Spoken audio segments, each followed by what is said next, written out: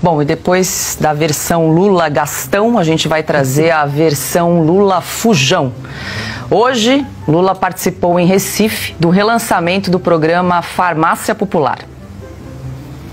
Uma reportagem de Oeste flagrou os poucos apoiadores do presidente serem colocados em um ponto do lado de fora de onde aconteceu a solenidade. Foram montados tapumes para impedir a aproximação do público.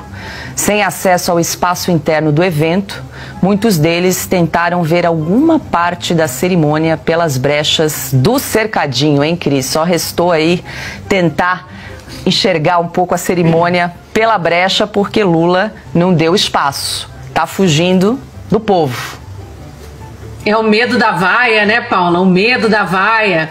Essa semana já teve lá na Bahia, reduto petista, mas não teve jeito. Pessoal falando aquele, aquele grito de guerra que já ecoa pelo Brasil há alguns anos aí, né? E ele não quer ouvir.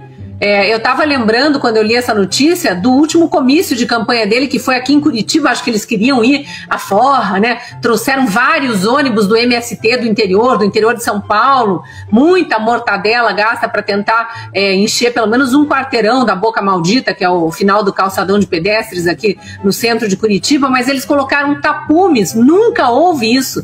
Desde as, dos comícios das dietas já, lá em 84, é que aquele calçadão aqui em Curitiba é lotado lotado. E claro, é um calçadão de pedestres, então ele é cheio de lojas. Mas os lojistas nunca reclamaram, sempre dá movimento nas lojas também.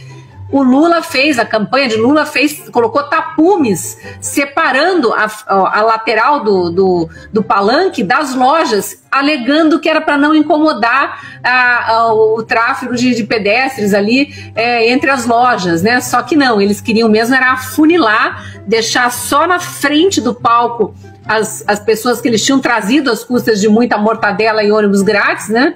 Para poder fazer umas imagens de drone, assim, mostrando que parecia uma grande multidão.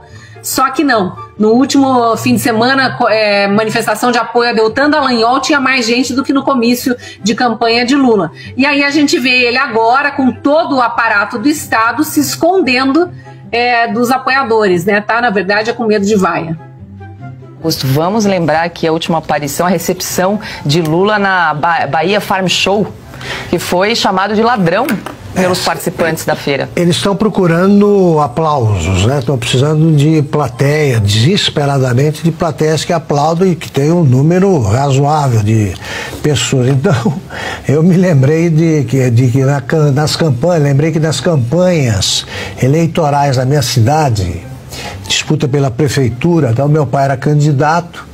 Então, para ironizar o, o baixo público do adversário, ele falou assim: olha, a coisa ali tá tão feia que uh, não tem gente no palanque.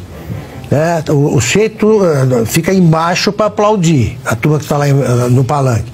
E até o orador, terminado o comício, ele descia rapidinho para aplaudir também. O Lula está chegando a essa situação. Faz o seguinte, esvazia o caminhão dos puxa-sacos, né, dos sabujos, põe qualquer, qualquer lugar elevado que eles escolham ali para o comício, manda todo mundo ficar lá embaixo para aplaudir. E o orador também desce e aplaude o que ele próprio falou. Tem que ser assim. Tá feia a coisa. Ana, no Recife, Lula montou um cercadinho para se afastar do povo. É medo? É por isso que tem que andar tanto de helicóptero, não consegue andar nas ruas com o povo, onde ele passa é vaiado, então tem que gastar aí o nosso dinheiro andando de helicóptero. O campeão da gastança em helicóptero, na verdade, detesta quem anda de ônibus. Eu até penso, se, se nós tivermos tempo, para a produção mostrar o tipo de comício que fazia o o Lindbergh Farias, ele que inventou né, o comício pra, em lugar movimentado sem plateia. Então, se a gente puder mostrar, porque produção. o PT vai acabar fazendo comício assim. É uma fórmula. Dispensa a plateia, fala. Se alguém ouvir, está ouvindo. Se não ouvir, paciência. É o comício na Praça da Sé, seis da tarde. Agora se inscreva no meu canal, seus comentários nesse vídeo, tá? Compartilha bastante para que outras pessoas venham ver, beleza?